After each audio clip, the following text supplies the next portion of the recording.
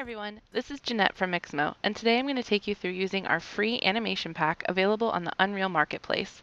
The animation pack comes with 15 unique characters and 7 motions, so you can get started creating epic games with motion captured animations in seconds. In addition to our online collection of animations and characters, Mixamo offers automatic rigging for your characters, created creating level of detail meshes, facial animation, and Fuse, our character creation software. Visit us at mixamo.com for more information. The first thing you'll need to do is make sure that you have Unreal Engine 4.3.1 or newer installed. Go ahead and launch.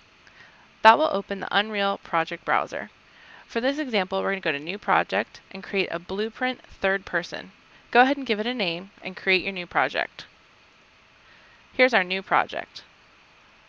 Next thing you'll need to do is navigate to the Mixamo Animpack folder downloaded from the Unreal Marketplace and open the Mixamo Animpack Unreal project file.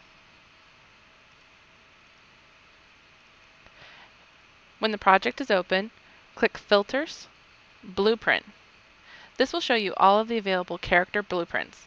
You can choose any character, but for this example, I'm going to use Maw. Right-click on the character that you'd like to use and click Migrate.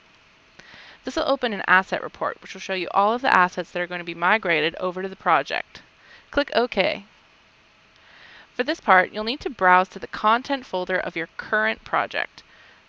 For this example, they're generally stored in My Documents, Unreal Project, the project name, and then Content.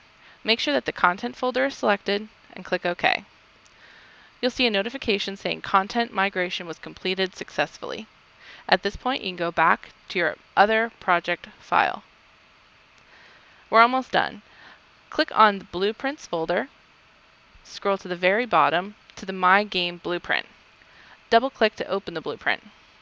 Under the default Pawn class, click the My Character dropdown and select the new character that you want to use.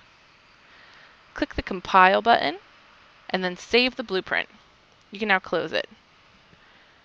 Click the play button. It's as simple as that. In just a few minutes, we've imported a fully animated character. Stop by Mixamo.com for a complete pipeline of services to help you create, rig, and animate 3D characters. We can't wait to see what you make.